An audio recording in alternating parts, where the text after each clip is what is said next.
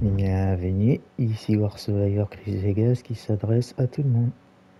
C'est parti pour la suite de WWE 2K24 sur PS5.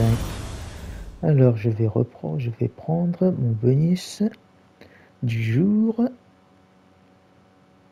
et je vais aussi regarder combien de jours il reste avant le bonus, avant la récompense la fin de la saison. Donc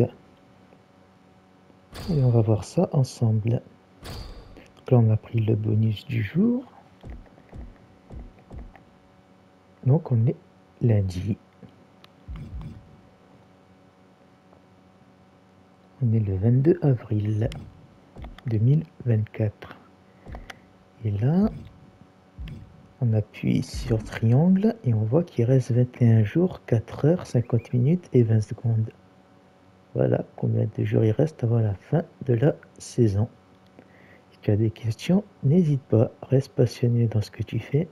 Fin de la vidéo.